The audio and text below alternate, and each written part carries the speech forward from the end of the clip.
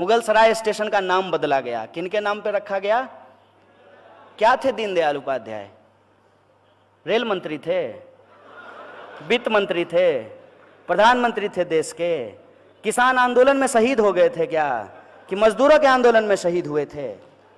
हिंदू मुसलमान का जो खेला चल रहा है, उसके लिए एक सुटेबल नाम है दीनदयाल उपाध्याय। और रेल मंत्री थे लाल बहादुर शास्त्री। मुगल सराय में ही पैदा हुए। और रेल मंत्री रहते हुए एक रेल दुर्घटना हो गई थी तो उन्होंने इस्तीफा दे दिया था। ये है राजनीतिक मूल्य। और वो राजनीतिक मूल्य आज कहाँ पहुँच गया है?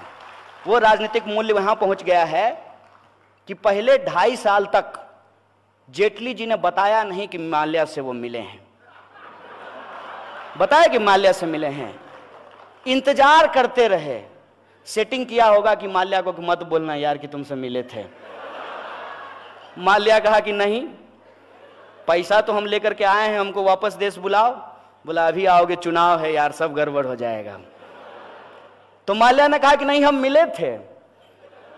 जब माल्या ने कहा कि हम मिले थे तो जेटली भी बोले कि हाँ हम भी मिले थे, थोड़ी देर के लिए मिले थे। मुझे माल्या पे भरोसा नहीं है। बिल्कुल भी भरोसा नहीं है। जो दो नौ हज़ार करोड़ रुपया लेकर के भाग जाए, उस पर कैसे भरोसा कर सकते हैं? कोई मेरा नौ रुपया लेकर के भाग जाएगा, हम उस पर भरोसा नहीं करेंगे तो नौ हज़ार लेकर के भाग गया है। हम अपने देश के वित्त मंत्री पे ही भरोसा करना चाहते हैं। जैसे हम देखे हैं, लाल बहादुर शास्त्री भी रेल मंत्री थे, महात्मा गांधी थे, तमाम तरीके के लोग थे। क्या ये भरोसे के काबिल हैं? इन पे भरोसा किया जा सकता है? ये पहले नहीं बताया कि मिले थे, जब माल्या ने कहा कि मिले हैं तो इन्होंने कहा कि हम मिले थे, थोड़ी देर के लिए मिले थे, तुरंत बीजेपी आ जाती है। एक तो इनके जो सारे मंत्री हैं, एक मंत्री तो बोल दिया यहाँ तक कि विपक्ष के उलझुलुल सवालों का जवाब देने के लिए प्रधानमंत्री नहीं है, हम जवाब देंगे। तो कानून मंत्री का जो सवाल होगा, उस पर गृह मंत्री बोलेंगे, गृह मंत्री के सवाल पे वित्त मंत्री बोलेंगे, वित्त मंत्री पे जो रक्षा मंत्री बोलेंगे। कोई भी मंत्री अपने मंत्रालय से जुड़ा हुआ बात नहीं बोलेगा। बाकी दुनिया भर की बात बोलेगा। मेरे जो है एक मित्र ने हमको एक दिन इनबॉक्स किया। बोला कि एक भाजपा का स्पोक्स पर्सन आता है। डॉक्टर कहता है अपने आप को। तो बोला, उससे पूछिएगा कि दो जोड़ दो बराबर कितना होता है? तो पहले चेक करेगा कि कांग्रेस के वक्त में कितना होता था। अरे तब भी चार होता था, अब भी चार होता है और आगे भी चार होगा, इसमें क्या दिक्कत है? हर बात के लिए, बात को गुमराह कैसे करना है? तो वित्त मंत्री के बचाव में आई भाजपा, और भाजपा ने कहा कि नहीं, उस दिन तो वित्त मंत्री पार्लियामेंट गए ही नहीं थे। एक लाल बहादुर शास्त्री थे। वो रेल जो है, ट्रेन नहीं चला रहे थे। ट्रेन जो है, ट्रेन का ड्राइवर चला रहा था। लाइन मैन का काम है लाइन चेक करना, लेकिन रेल मंत्री ने जिम्मेवारी लेते हुए कहा कि हम इस्तीफा देंगे क्योंकि हम रेल मंत्री हैं, हमारे राजकाज में रेल की दुर्घटना हुई है। रोज रेल दुर्घटना हो रही है। और मैं आपको विश्वास दिलाना चाहता हूँ कि आपको रेल मंत्री का नाम भी याद नहीं होगा। क्योंकि कोई भी मंत्री अपना काम करेगा, तब तो उसका नाम आपको याद रहेगा। अब देश का प्रधानमंत्री जो है, वो विदेश मंत्री का काम कर रहा है, दुनिया घूम रहा है। ये जो ये जो सिचुएशन है, इस सिचुएशन को आप देखिए और आप समझिए कि सच क्या है, झूठ क्या है, हर बात को कैसे ट्विस्ट किया जाता है, कैसे इतिहास को तोड़ा मरोड़ा जाता है, कैसे गांधी जी का भी चश्मा इस्तेमाल कर लिया जाता है। मैंने कहते हैं ना, मुख में राम, बगल में छुरी, मुख में नाथू राम, बगल में गांधी। ये कैसे इस्तेमाल कर रहे हैं?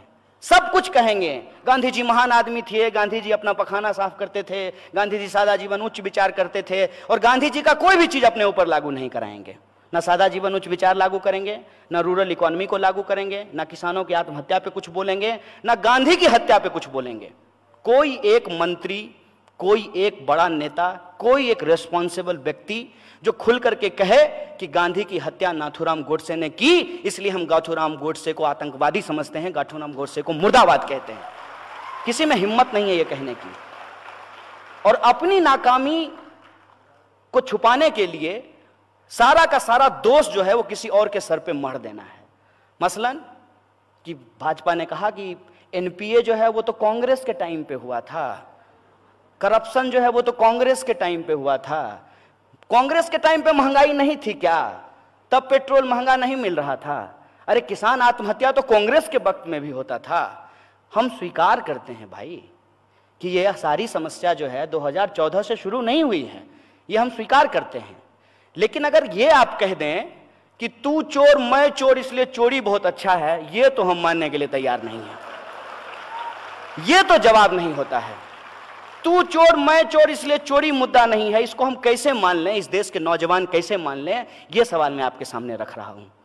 एनपीए था, करप्शन था। इन जो समस्याएँ हैं, इस समस्या से ही निजात के लिए लोगों ने आपको प्रधानमंत्री बनाया, नया सरकार चुन करके लाया। नहीं तो वही लोग कंटिन्यू कर रहे होते, क्या दिक्कत है? अरे कम से कम इतिहास तो झूठ नहीं बोलते ना, मनमोहन सिंह? पढ़े लिखे व्यक्ति हैं। कम से कम इकोनॉमी पढ़े हुए थे, इकोनॉमी समझे हुए थे तो कोई इकोनॉमिक डिसीज़न लेते तो डिमोनेटाइजेशन जैसा ब्लंडर तो कम से कम नहीं किए होते। ये तो होता ना। मैं किसी के समर्थन में नहीं बोल रहा हूँ।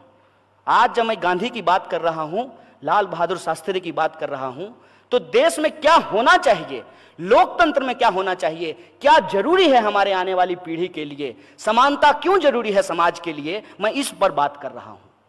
और यह क्या मतलब होता है? हर सवाल को गुमराह करके आप नेहरू के पास पहुँचा देना चाहते हैं। अजीब बात है। मुझे तो लग रहा है कि इस दिन आप लोग भी इंतज़ार कीजिए, किसी दिन स्टेटमेंट आएगा मोदी जी का। मोदी जी जैसे कह रहे हैं ना कि इतने सालों का गड्ढा है, सत्तर साल में कांग्रेस ने जो है इस देश को लूट लिया है तो उसको ठीक करने में वक्त मिलेगा। एक तो सत्तर साल जब ये बोलते हैं तब जो है ये उसमें बीपी सिंह को भी जोड़ लेते हैं, अटल बिहारी वाजपेयी के छह साल को भी जोड़ लेते हैं। और इनका यह मानना है कि अटल बिहारी वाजपेयी का जो छह साल था, उसमें भी कोई काम नहीं हुआ था। उससे भी आगे बढ़ करके कोई इनका समर्थक तो ये जाके कह देता है कि 1100 साल के बाद जो है कि हिंदू प्रधानमंत्री बना है। इस पर विचार कीजिए कि गांधी क्या कहते थे? गांधी कहते थे कि ईश्वर अल्लाह तेरे नाम सबको सन्मति दे, भगवान। आज देश का जो प्रधानमंत्री है, वो कब्रिस्तान और शमशान की बात कर रहा है। आप हिंदुस्तान की बात कीजिए, आप कब्रिस्तान और शमशान की बात क्यों कर रहे हैं? आपको हिंदुस्तान की बात करने के लिए इस देश का प्रधानमंत्री बनाया गया है। लेकिन आप हिंदुस्तान की बात नहीं करेंगे।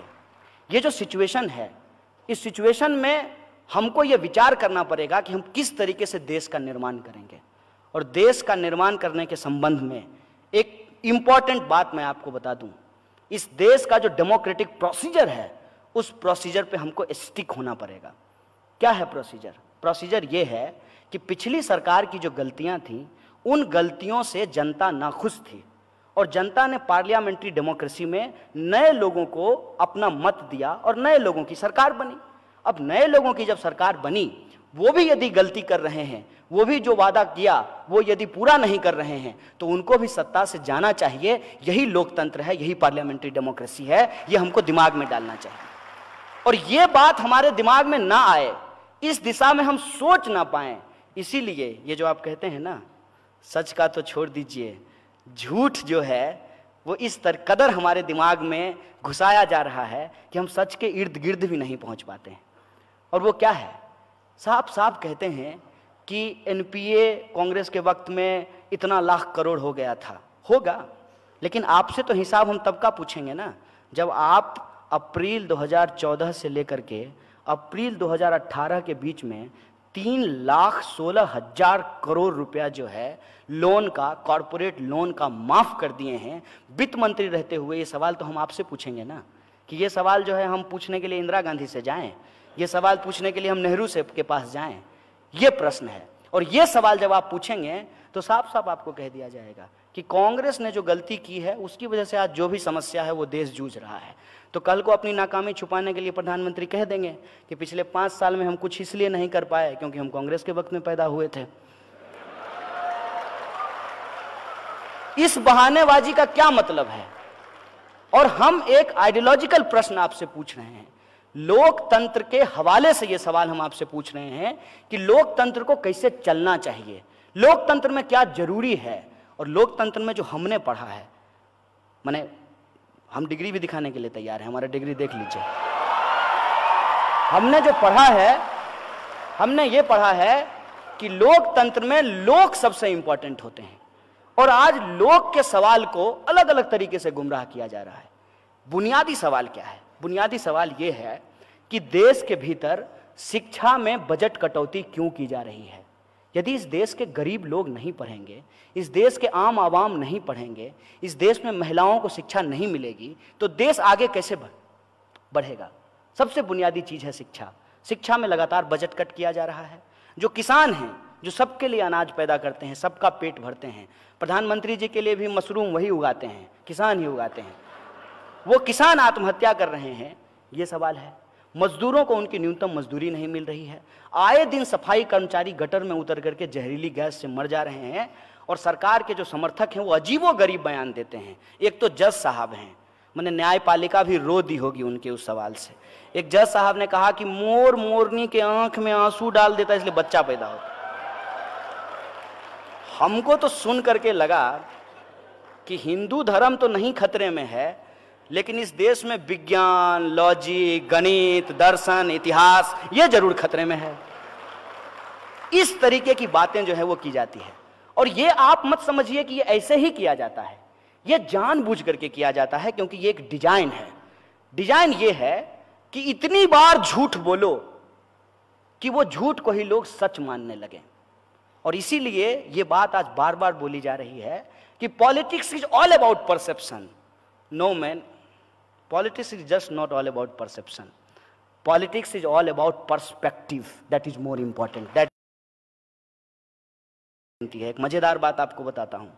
लाल बहादुर शास्त्री संविधान लागू होने के बाद उन्नीस सौ बावन में, संविधान लागू होने के बाद देश के पहले रेल मंत्री बने, उन्नीस सौ बावन में। और लाल बहादुर शास्त्री रेल मंत्री बने, इत्तेफाक देखिएगा। पैदा कहाँ हुए? मुगल सराय में। मुगल सराय स्टेशन का नाम बदला गया। किनके नाम पर रखा गया? क्या थे दीनदयाल उपाध्याय?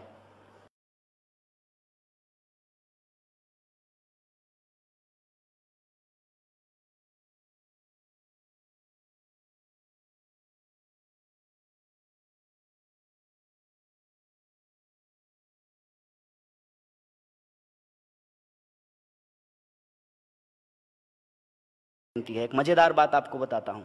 लाल बहादुर शास्त्री संविधान लागू होने के बाद उन्नीस सौ बावन में संविधान लागू होने के बाद देश के पहले रेल मंत्री बने, उन्नीस सौ बावन में। और लाल बहादुर शास्त्री रेल मंत्री बने, इत्तेफाक देखिएगा। पैदा कहाँ हुए? मुगल सराय में। मुगल सराय स्टेशन का नाम बदला गया। किनके नाम पर रखा गया? क्या थे दीनदयाल उपाध्याय? रेल मंत्री थे। वित्त मंत्री थे। प्रधानमंत्री थे देश के। किसान आंदोलन में शहीद हो गए थे क्या? कि मजदूरों के आंदोलन में शहीद हुए थे। हिंदू मुसलमान का जो खेला चल रहा है, उसके लिए सुटेबल नाम है, दीनदयाल उपाध्याय।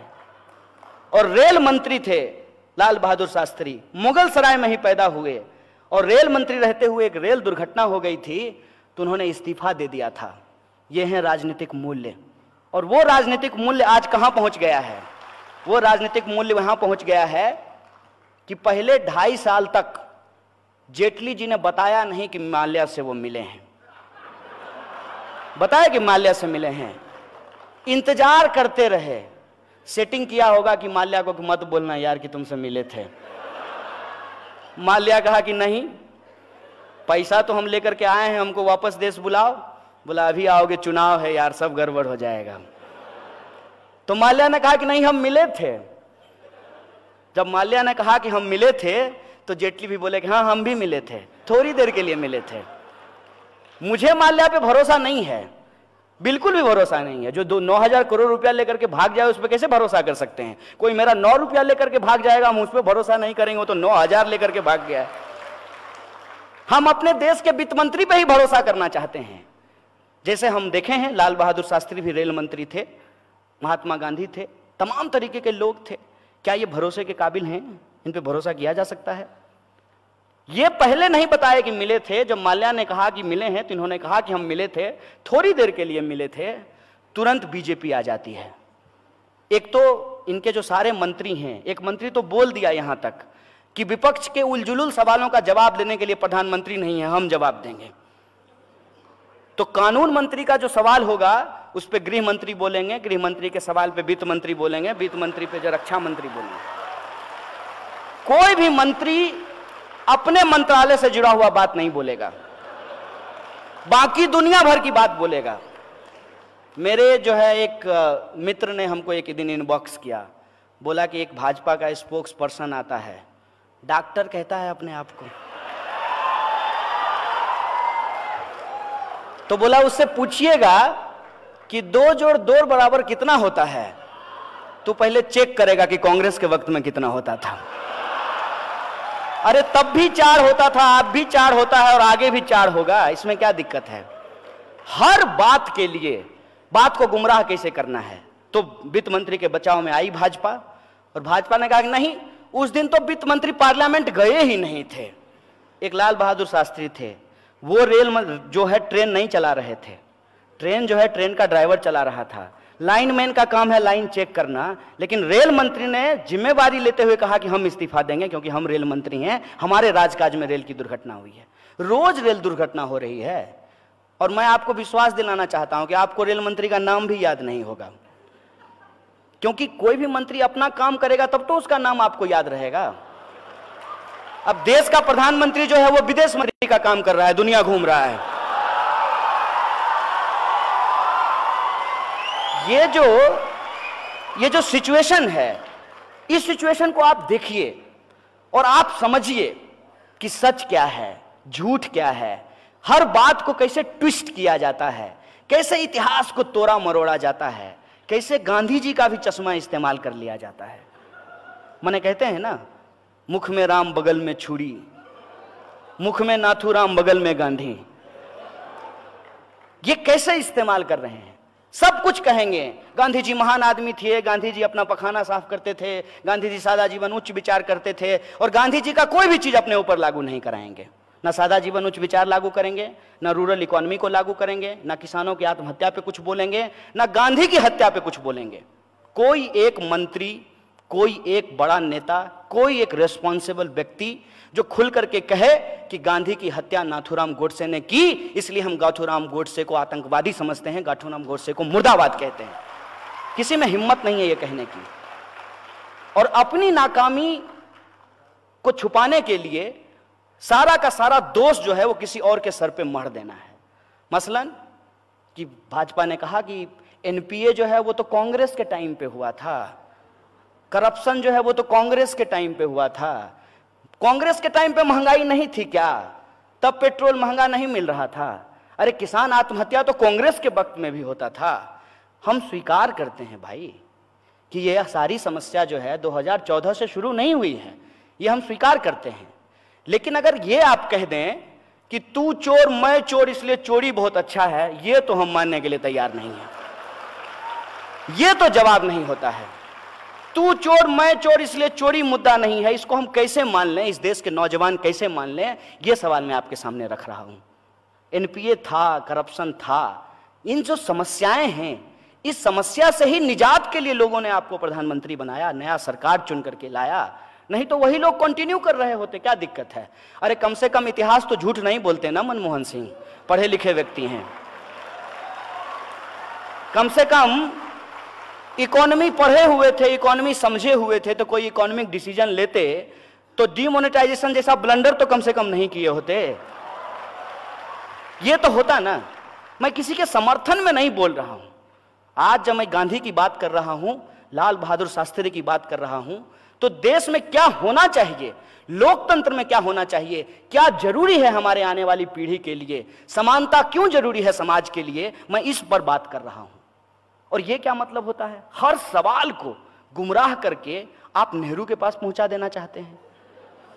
अजीब बात है। मुझे तो लग रहा है कि इस दिन आप लोग भी इंतज़ार कीजिए, किसी दिन स्टेटमेंट आएगा मोदी जी का। मोदी जी जैसे कह रहे हैं ना कि इतने सालों का गड्ढा है, सत्तर साल में कांग्रेस ने जो है इस देश को लूट लिया है तो उसको ठीक करने में वक्त मिलेगा। एक तो सत्तर साल जब ये बोलते हैं तब जो है ये उसमें बीपी सिंह को भी जोड़ लेते हैं, अटल बिहारी वाजपेयी के छः साल को भी जोड़ लेते हैं। और इनका ये मानना है कि अटल बिहारी वाजपेयी का जो छः साल था, उसमें भी कोई काम नहीं हुआ था। उससे भी आगे बढ़ करके कोई इनका समर्थक तो ये जाके कह देता है कि 1100 साल के बाद जो है कि हिंदू प्रधानमंत्री बना है। इस पर विचार कीजिए कि गांधी क्या कहते थे? गांधी कहते थे कि ईश्वर अल्लाह तेरे नाम सबको सन्मति दे, भगवान। आज देश का जो प्रधानमंत्री है, वो कब्रिस्तान और शमशान की बात कर रहा है। आप हिंदुस्तान की बात कीजिए, आप कब्रिस्तान और शमशान की बात क्यों कर रहे हैं? आपको हिंदुस्तान की बात करने के लिए इस देश का प्रधानमंत्री बनाया गया है। लेकिन आप हिंदुस्तान की बात नहीं करेंगे।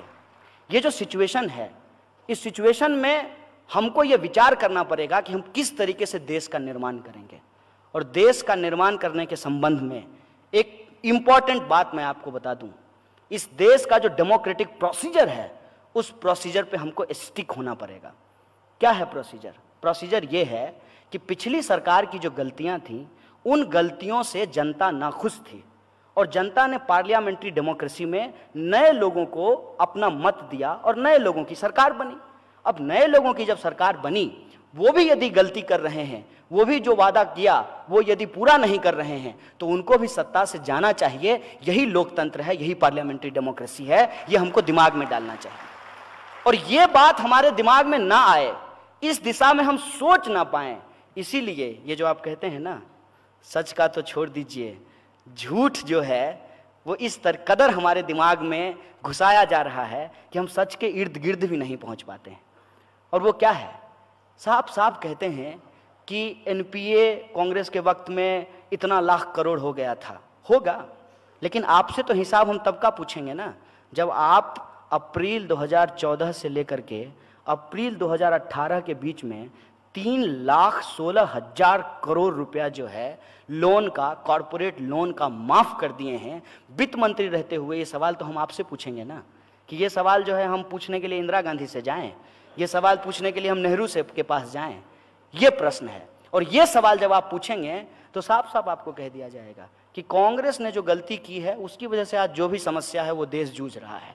तो कल को अपनी नाकामी छुपाने के लिए प्रधानमंत्री कह देंगे कि पिछले पाँच साल में हम कुछ इसलिए नहीं कर पाए क्योंकि हम कांग्रेस के वक्त में पैदा हुए थे।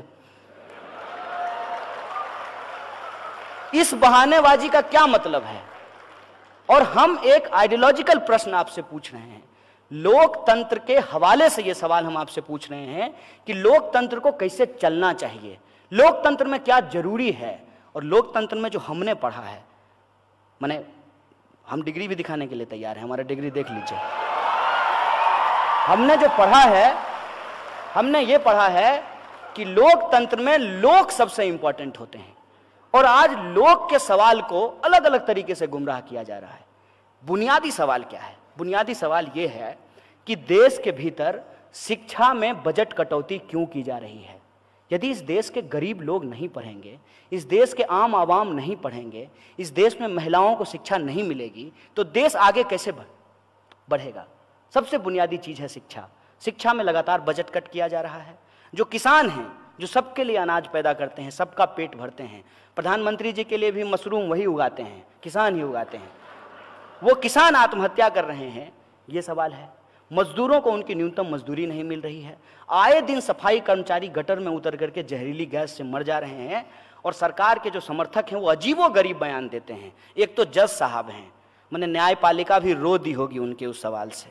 एक जज साहब ने कहा कि मोर मोरनी के आँख में आँसू डाल देता इसलिए बच्चा पैदा होता हमको तो सुन करके लगा कि हिंदू धर्म तो नहीं खतरे में है लेकिन इस देश में विज्ञान, लॉजिक, गणित, दर्शन, इतिहास, ये ज़रूर खतरे में है। इस तरीके की बातें जो है वो की जाती है। और ये आप मत समझिए कि ये ऐसे ही किया जाता है। ये जानबूझ करके किया जाता है क्योंकि ये एक डिज़ाइन है। डिज़ाइन ये है कि इतनी बार झूठ बोलो कि वो झूठ को ही लोग सच मानने लगे। और इसीलिए ये बात आज बार बार बोली जा रही है कि politics is all about perception. No man Politics is just not all about perception. Politics is all about perspective. That is more important. That we have to understand. और पर्सपेक्टिव क्या होता है पर्सपेक्टिव ये होता है कि देश में यदि इनइक्वलिटी है डेमोक्रेसी नहीं बची रहेगी और उस इनइक्वलिटी को टिकाए रखने के लिए ये कम्युनलिज्म कास्टिज्म पेट्रियार्की ये अलग अलग तरह के जो रिग्रेसिव स्ट्रक्चर हैं सोसाइटी के, उसको दोबारा मज़बूत किया जाएगा, उसको दोबारा ठीक किया जाएगा अभी एक नया ऐप आया है। देश के किसी भी मंदिर के पुजारी से उस ऐप के द्वारा आप अपने घर में पूजा करवा सकते हैं। नहीं नहीं, कराइए, कोई दिक्कत नहीं है। हिंदू धर्म को मानिए, उसमें भी कोई दिक्कत नहीं है। लेकिन ये तो सोचिएगा ना कि आप कौन से हिंदू होना चाहते हैं। जय श्री राम बोल करके किसी गर्भवती महिला का पेट फाड़ करके उसकी बच्चा को तलवार की नोक पे लहराने वाला हिंदू होना चाहते हैं, या गांधी की तरह इस देश में हिंदू मुसलमान एकता के लिए हे राम बोलते हुए सांप्रदायिक की गोली खा करके मर जाना चाहते हैं, ये आपको तय करना है। ये आपको तय करना है कि आपको किस तरीके का लोकतंत्र चाहिए। आपको ये लोकतंत्र चाहिए जहाँ देश के प्रधानमंत्री को प्रधानमंत्री के बतौर नहीं, शेर के बतौर प्रस्तुत किया जाता है। अब बताइए, आप प्रधानमंत्री चुने थे ना? इनके समर्थक कहते हैं कि शेर हैं। हम बोले शेर हैं तो जंगल में क्या कर, मैंने यहाँ क्या कर रहे हैं? शेर तो जंगल में रहता है या चिड़ियाघर में रहता है? एक बात और बोले, एक बार एक ऐसे ही इनका समर्थक हमसे उलझ गया। अमूमन हम उलझते नहीं हैं, लेकिन उलझ गया। बोला, ए, तुम क्या बोलोगे? प्रधानमंत्री हमारे शेर हैं। हम बोले, सुनो दोस्त, किसी शेर को किसी इंसान के गले में पट्टा डाल करते घुमाते हुए देखे हो? ये काम भी इंसान ही करता है कि शेर के गले में पट्टा डाल करके उसको घुमाता है। हम इंसान हैं और हमको इंसान ही होना पसंद है। और तुमको अगर लगता है कि सही में ये इतने मज़बूत व्यक्ति हैं तो फिर क्या ज़रूरत है? बताइए, राफेल खरीदने का ज़रूरत है? क्या क्या करेंगे खरीद करके? प्रधानमंत्री को बॉर्डर पे खड़ा कर दो। प्रधानमंत्री जो है बोल बोल करके पाकिस्तानियों को मार देंगे। इतना फेंकेंगे इतना फेंकेंगे। चारों खाने चित। चारों खाने चित। फिर भी फिर भी अगर दो चार पाकिस्तानी बंदूक लेकर के इधर उधर बच जाए तो प्रधानमंत्री सलमान खान की तरह शर्ट खोलेंगे, छप्पन इंच का सीना दिखाएँगे। ये क्या चल रहा है? अरे गांधी के बारे में आइंस्टाइन ने कहा कि आने वाली पीढ़ी ये भरोसा नहीं करेगी कि इस हार मांस का व्यक्ति जो है, वो चलता फिरता था, वो ज़िंदा था, वो इंसान था। वो थे गांधी। गांधी लाठी रख लेके चलते थे, किसी को डराने के लिए नहीं, अपने सहारे के लिए लेकर के चलते थे। आधी धोती पहनते थे, आधी धोती लपेटते थे और डिग्निटी के लिए उन्होंने खुद चरका उठाया, अपना बाथरूम खुद साफ़ किया, देश की मजबूती के लिए रूरल इकोनॉमी की बात की। देश में हिंदू मुसलमान एकता के लिए ना सिर्फ़ बात की, बल्कि जान गवा दी। और आज गांधी के नाम पे, गांधी के इस देश को हम जिस तरफ़ लेकर के जा रहे हैं, मैं समझता हूँ कि वो रास्ता अंधकार और गड्ढे का रास्ता है। गांधी के रास्ते पे हमको चलना पड़ेगा, भगत सिंह के रास्ते पे हमको चलना पड़ेगा, बाबा साहब भीमराव अंबेडकर के रास्ते पे हमको चलना पड़ेगा। और इन तीनों में सबसे जो इंपॉर्टेंट चीज़ है मैं वो बता रहा हूँ कि इन तीनों में कॉमन ये था कि ये तीनों हर प्रकार की असमानता के खिलाफ थे और समानता के पक्ष में थे। और जब तक हम इक्वलिटी को एस्टेब्लिश नहीं करेंगे सोसाइटी में, देश मज़बूत नहीं हो सकता है। और देश में इक्वलिटी को एस्टेब्लिश करने के लिए आज ज़रूरत इस बात की है कि जो कॉरपोरेट मोनोपोली है, उस कॉरपोरेट मोनोपोली को ब्रेक करके इस देश के भीतर जो छोटे छोटे इंटरप्रेनियर्स हैं, जो स्मॉल स्केल इंडस्ट्रीज़ में काम करने वाले लोग हैं, जो मीडियम स्केल इंडस्ट्रीज़ में काम करने वाले लोग हैं, उनको हमको प्रमोट करना पड़ेगा।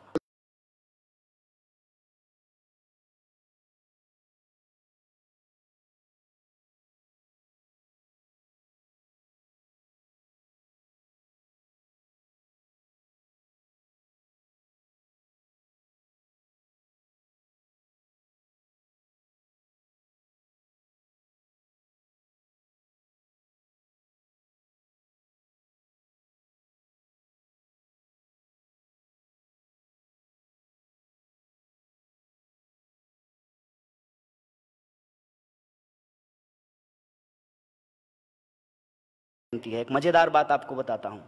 लाल बहादुर शास्त्री संविधान लागू होने के बाद उन्नीस में संविधान लागू होने के बाद देश के पहले रेल मंत्री बने, उन्नीस में। और लाल बहादुर शास्त्री रेल मंत्री बने, इत्तेफाक देखिएगा। पैदा कहाँ हुए? मुगल सराय में। मुगल सराय स्टेशन का नाम बदला गया। किनके नाम पे रखा गया? है। एक मज़ेदार बात आपको बताता हूँ। लाल बहादुर शास्त्री संविधान लागू होने के बाद उन्नीस सौ बावन में संविधान लागू होने के बाद देश के पहले रेल मंत्री बने, उन्नीस सौ बावन में। और लाल बहादुर शास्त्री रेल मंत्री बने, इत्तेफाक देखिएगा। पैदा कहाँ हुए? मुगल सराय में। मुगल सराय स्टेशन का नाम बदला गया। किनके नाम पर रखा गया? क्या थे दीनदयाल उपाध्याय? रेल मंत्री थे। वित्त मंत्री थे। प्रधानमंत्री थे देश के। किसान आंदोलन में शहीद हो गए थे क्या? कि मजदूरों के आंदोलन में शहीद हुए थे। हिंदू मुसलमान का जो खेला चल रहा है, उसके लिए एक सुटेबल नाम है, दीनदयाल उपाध्याय। और रेल मंत्री थे लाल बहादुर शास्त्री, मुगल सराय में ही पैदा हुए। और रेल मंत्री रहते हुए एक रेल दुर्घटना हो गई थी तो उन्होंने इस्तीफा दे दिया था। ये है राजनीतिक मूल्य। और वो राजनीतिक मूल्य आज कहाँ पहुँच गया है? वो राजनीतिक मूल्य वहाँ पहुँच गया है कि पहले ढाई साल तक जेटली जी ने बताया नहीं कि माल्या से वो मिले हैं। बताया कि माल्या से मिले हैं। इंतज़ार करते रहे। सेटिंग किया होगा कि माल्या को मत बोलना यार कि तुमसे मिले थे। माल्या कहा कि नहीं, पैसा तो हम लेकर के आए हैं, हमको वापस देश बुलाओ। बोला, अभी आओगे, चुनाव है यार, सब गड़बड़ हो जाएगा। तो माल्या ने कहा कि नहीं, हम मिले थे। जब माल्या ने कहा कि हम मिले थे तो जेटली भी बोले कि हाँ हम भी मिले थे। थोड़ी देर के लिए मिले थे। मुझे माल्या पे भरोसा नहीं है। बिल्कुल भी भरोसा नहीं है। जो दो, नौ हज़ार करोड़ रुपया लेकर के भाग जाए, उस पर कैसे भरोसा कर सकते हैं? कोई मेरा नौ रुपया लेकर के भाग जाएगा, हम उस पर भरोसा नहीं करेंगे, वो तो नौ हज़ार लेकर के भाग गया है। हम अपने देश के वित्त मंत्री पे ही भरोसा करना चाहते हैं। जैसे हम देखे हैं, लाल बहादुर शास्त्री भी रेल मंत्री थे, महात्मा गांधी थे, तमाम तरीके के लोग थे। क्या ये भरोसे के काबिल हैं? इन पे भरोसा किया जा सकता है? ये पहले नहीं बताया कि मिले थे। जब माल्या ने कहा कि मिले हैं तो इन्होंने कहा कि हम मिले थे। थोड़ी देर के लिए मिले थे। तुरंत बीजेपी आ जाती है। एक तो इनके जो सारे मंत्री हैं, एक मंत्री तो बोल दिया यहाँ तक कि विपक्ष के उलझुल सवालों का जवाब देने के लिए प्रधानमंत्री नहीं है, हम जवाब देंगे। तो कानून मंत्री का जो सवाल होगा, उस पर गृह मंत्री बोलेंगे, गृह मंत्री के सवाल पे वित्त मंत्री बोलेंगे, वित्त मंत्री पे जो रक्षा मंत्री बोलेंगे। कोई भी मंत्री अपने मंत्रालय से जुड़ा हुआ बात नहीं बोलेगा। बाकी दुनिया भर की बात बोलेगा। मेरे जो है एक मित्र ने हमको एक दिन इनबॉक्स किया। बोला कि एक भाजपा का स्पोक्स पर्सन आता है। डॉक्टर कहता है अपने आप को। तो बोला, उससे पूछिएगा कि दो जोड़ दो बराबर कितना होता है? तो पहले चेक करेगा कि कांग्रेस के वक्त में कितना होता था। अरे तब भी चार होता था अब भी चार होता है और आगे भी चार होगा, इसमें क्या दिक्कत है? हर बात के लिए, बात को गुमराह कैसे करना है? तो वित्त मंत्री के बचाव में आई भाजपा, और भाजपा ने कहा कि नहीं, उस दिन तो वित्त मंत्री पार्लियामेंट गए ही नहीं थे। एक लाल बहादुर शास्त्री थे, वो रेल जो है ट्रेन नहीं चला रहे थे। ट्रेन जो है, ट्रेन का ड्राइवर चला रहा था। लाइनमैन का काम है लाइन चेक करना, लेकिन रेल मंत्री ने जिम्मेवारी लेते हुए कहा कि हम इस्तीफा देंगे क्योंकि हम रेल मंत्री हैं, हमारे राजकाज में रेल की दुर्घटना हुई है। रोज रेल दुर्घटना हो रही है। और मैं आपको विश्वास दिलाना चाहता हूँ कि आपको रेल मंत्री का नाम भी याद नहीं होगा। क्योंकि कोई भी मंत्री अपना काम करेगा, तब तो उसका नाम आपको याद रहेगा। अब देश का प्रधानमंत्री जो है, वो विदेश मंत्री का काम कर रहा है, दुनिया घूम रहा है। ये जो ये जो सिचुएशन है, इस सिचुएशन को आप देखिए और आप समझिए कि सच क्या है, झूठ क्या है, हर बात को कैसे ट्विस्ट किया जाता है, कैसे इतिहास को तोड़ा मरोड़ा जाता है, कैसे गांधी जी का भी चश्मा इस्तेमाल कर लिया जाता है। मैंने कहते हैं ना, मुख में राम बगल में छुरी, मुख में नाथू राम बगल में गांधी। ये कैसे इस्तेमाल कर रहे हैं? सब कुछ कहेंगे। गांधी जी महान आदमी थे गांधी जी अपना पखाना साफ़ करते थे गांधी जी सादा जीवन उच्च विचार करते थे, और गांधी जी का कोई भी चीज़ अपने ऊपर लागू नहीं कराएँगे। ना सादा जीवन उच्च विचार लागू करेंगे, ना रूरल इकोनॉमी को लागू करेंगे, ना किसानों की आत्महत्या पे कुछ बोलेंगे, ना गांधी की हत्या पे कुछ बोलेंगे। कोई एक मंत्री, कोई एक बड़ा नेता, कोई एक रेस्पॉन्सिबल व्यक्ति जो खुल करके कहे कि गांधी की हत्या नाथुराम गोडसे ने की, इसलिए हम गाथुराम गोडसे को आतंकवादी समझते हैं, गाथुराम गोडसे को मुर्दाबाद कहते हैं। किसी में हिम्मत नहीं है यह कहने की। और अपनी नाकामी को छुपाने के लिए सारा का सारा दोष जो है वो किसी और के सर पे मर देना है। मसलन कि भाजपा ने कहा कि एनपीए जो है वो तो कांग्रेस के टाइम पे हुआ था, करप्शन जो है वो तो कांग्रेस के टाइम पे हुआ था कांग्रेस के टाइम पे महँगाई नहीं थी क्या? तब पेट्रोल महँगा नहीं मिल रहा था। अरे किसान आत्महत्या तो कांग्रेस के वक्त में भी होता था। हम स्वीकार करते हैं भाई कि यह सारी समस्या जो है 2014 से शुरू नहीं हुई है। यह हम स्वीकार करते हैं। लेकिन अगर ये आप कह दें कि तू चोर, मैं चोर, इसलिए चोरी बहुत अच्छा है यह तो हम मानने के लिए तैयार नहीं है। यह तो जवाब नहीं होता है। तू चोर, मैं चोर, इसलिए चोरी मुद्दा नहीं है। इसको हम कैसे मान लें? इस देश के नौजवान कैसे मान लें? यह सवाल मैं आपके सामने रख रहा हूँ। एनपीए था, करप्शन था। इन जो समस्याएँ हैं, इस समस्या से ही निजात के लिए लोगों ने आपको प्रधानमंत्री बनाया, नया सरकार चुन करके लाया। नहीं तो वही लोग कंटिन्यू कर रहे होते, क्या दिक्कत है? अरे कम से कम इतिहास तो झूठ नहीं बोलते ना, मनमोहन सिंह? पढ़े लिखे व्यक्ति हैं। कम से कम इकोनॉमी पढ़े हुए थे, इकोनॉमी समझे हुए थे तो कोई इकोनॉमिक डिसीज़न लेते तो डीमोनेटाइजेशन जैसा ब्लंडर तो कम से कम नहीं किए होते। ये तो होता ना। मैं किसी के समर्थन में नहीं बोल रहा हूँ। आज जब मैं गांधी की बात कर रहा हूँ, लाल बहादुर शास्त्री की बात कर रहा हूँ तो देश में क्या होना चाहिए? लोकतंत्र में क्या होना चाहिए? क्या ज़रूरी है हमारे आने वाली पीढ़ी के लिए? समानता क्यों ज़रूरी है समाज के लिए? मैं इस पर बात कर रहा हूँ। और यह क्या मतलब होता है? हर सवाल को गुमराह करके आप नेहरू के पास पहुँचा देना चाहते हैं। अजीब बात है। मुझे तो लग रहा है कि इस दिन आप लोग भी इंतज़ार कीजिए, किसी दिन स्टेटमेंट आएगा मोदी जी का। मोदी जी जैसे कह रहे हैं ना कि इतने सालों का गड्ढा है, सत्तर साल में कांग्रेस ने जो है इस देश को लूट लिया है तो उसको ठीक करने में वक्त मिलेगा। एक तो सत्तर साल जब ये बोलते हैं तब जो है ये उसमें बीपी सिंह को भी जोड़ लेते हैं, अटल बिहारी वाजपेयी के छह साल को भी जोड़ लेते हैं। और इनका ये मानना है कि अटल बिहारी वाजपेयी का जो छह साल था, उसमें भी कोई काम नहीं हुआ था। उससे भी आगे बढ़ करके कोई इनका समर्थक तो ये जाके कह देता है कि 1100 साल के बाद जो है कि हिंदू प्रधानमंत्री बना है। इस पर विचार कीजिए कि गांधी क्या कहते थे? गांधी कहते थे कि ईश्वर अल्लाह तेरे नाम सबको सन्मति दे, भगवान।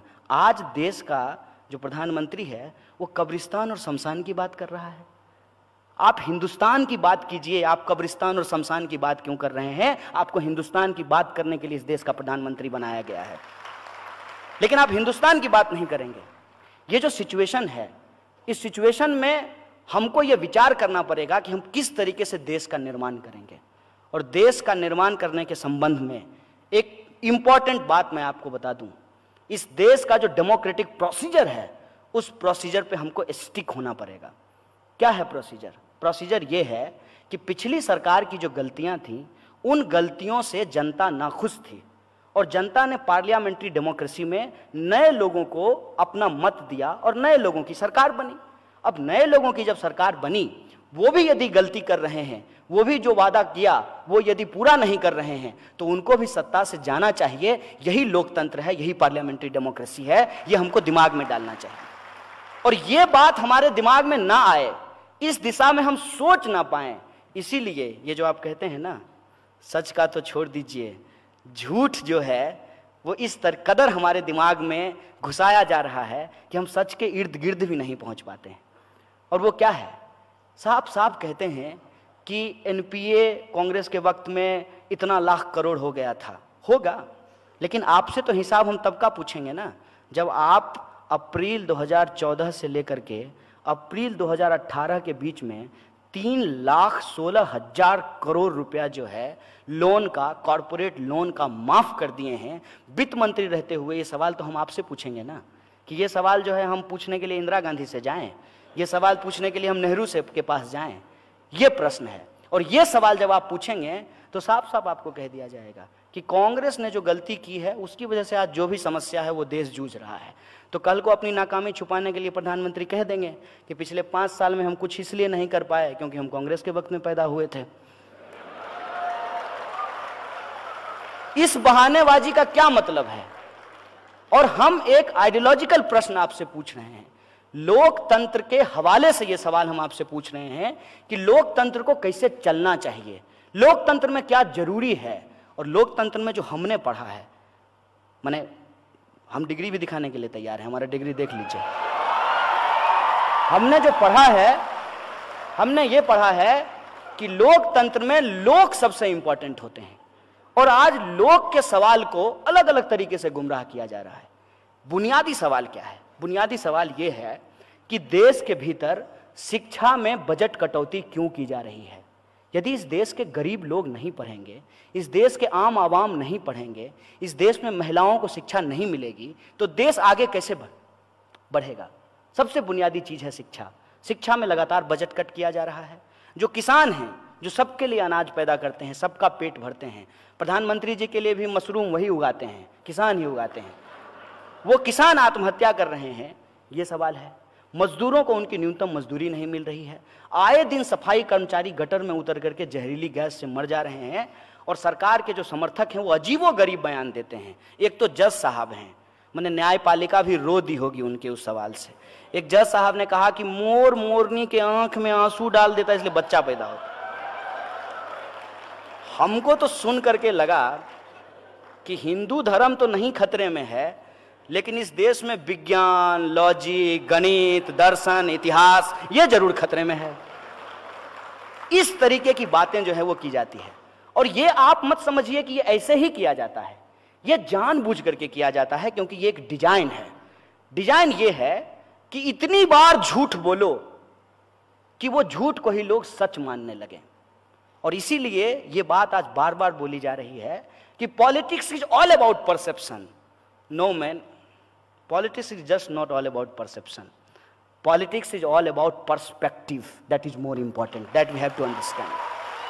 और पर्सपेक्टिव क्या होता है पर्सपेक्टिव ये होता है कि देश में यदि इनइक्वलिटी है डेमोक्रेसी नहीं बची रहेगी और उस इनइक्वलिटी को टिकाए रखने के लिए ये कम्युनलिज्म कास्टिज्म पेट्रियार्की ये अलग अलग तरह के जो रिग्रेसिव स्ट्रक्चर हैं सोसाइटी के, उसको दोबारा मज़बूत किया जाएगा, उसको दोबारा ठीक किया जाएगा अभी एक नया ऐप आया है।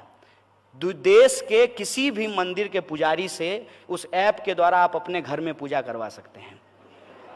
नहीं नहीं, कराइए, कोई दिक्कत नहीं है। हिंदू धर्म को मानिए, उसमें भी कोई दिक्कत नहीं है। लेकिन ये तो सोचिएगा ना कि आप कौन से हिंदू होना चाहते हैं।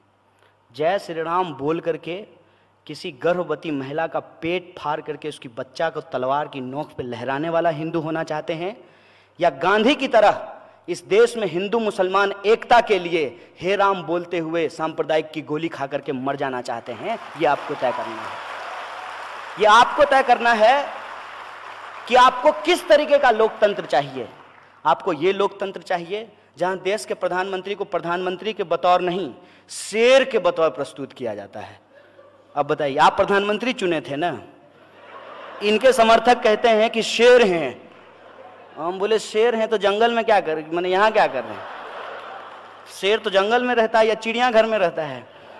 एक बात और बोले, एक बार एक ऐसे ही इनका समर्थक हमसे उलझ गया। अमूमन हम उलझते नहीं हैं, लेकिन उलझ गया। बोला, ए, तुम क्या बोलोगे? प्रधानमंत्री हमारे शेर हैं। हम बोले, सुनो दोस्त, किसी शेर को किसी इंसान के गले में पट्टा डाल करते घुमाते हुए देखे हो? ये काम भी इंसान ही करता है कि शेर के गले में पट्टा डाल करके उसको घुमाता है। हम इंसान हैं और हमको इंसान ही होना पसंद है। और तुमको अगर लगता है कि सही में ये इतने मज़बूत व्यक्ति हैं तो फिर क्या ज़रूरत है? बताइए, राफेल खरीदने का ज़रूरत है? क्या क्या करेंगे खरीद करके? प्रधानमंत्री को बॉर्डर पे खड़ा कर दो। प्रधानमंत्री जो है बोल बोल करके पाकिस्तानियों को मार देंगे। इतना फेंकेंगे इतना फेंकेंगे। चारों खाने चित। चारों खाने चित। फिर भी फिर भी अगर दो चार पाकिस्तानी बंदूक लेकर के इधर उधर बच जाए तो प्रधानमंत्री सलमान खान की तरह शर्ट खोलेंगे, छप्पन इंच का सीना दिखाएँगे। ये क्या चल रहा है? अरे गांधी के बारे में आइंस्टाइन ने कहा कि आने वाली पीढ़ी ये भरोसा नहीं करेगी कि इस हार मांस का व्यक्ति जो है, वो चलता फिरता था, वो ज़िंदा था, वो इंसान था। वो थे गांधी। गांधी लाठी रख लेके चलते थे, किसी को डराने के लिए नहीं, अपने सहारे के लिए लेकर के चलते थे। आधी धोती पहनते थे, आधी धोती लपेटते थे और डिग्निटी के लिए उन्होंने खुद चरका उठाया। अपना बाथरूम खुद साफ़ किया। देश की मजबूती के लिए रूरल इकोनॉमी की बात की। देश में हिंदू मुसलमान एकता के लिए ना सिर्फ़ बात की, बल्कि जान गवा दी। और आज गांधी के नाम पे, गांधी के इस देश को हम जिस तरफ़ लेकर के जा रहे हैं, मैं समझता हूँ कि वो रास्ता अंधकार और गड्ढे का रास्ता है। गांधी के रास्ते पे हमको चलना पड़ेगा, भगत सिंह के रास्ते पे हमको चलना पड़ेगा, बाबा साहब भीमराव अंबेडकर के रास्ते पे हमको चलना पड़ेगा। और इन तीनों में सबसे जो इंपॉर्टेंट चीज़ है मैं वो बता रहा हूँ कि इन तीनों में कॉमन ये था कि ये तीनों हर प्रकार की असमानता के खिलाफ थे और समानता के पक्ष में थे। और जब तक हम इक्वलिटी को एस्टेब्लिश नहीं करेंगे सोसाइटी में, देश मज़बूत नहीं हो सकता है। और देश में इक्वलिटी को एस्टेब्लिश करने के लिए आज ज़रूरत इस बात की है कि जो कॉरपोरेट मोनोपोली है, उस कॉरपोरेट मोनोपोली को ब्रेक करके इस देश के भीतर जो छोटे छोटे इंटरप्रेनियर्स हैं, जो स्मॉल स्केल इंडस्ट्रीज़ में काम करने वाले लोग हैं, जो मीडियम स्केल इंडस्ट्रीज़ में काम करने वाले लोग हैं, उनको हमको प्रमोट करना पड़ेगा।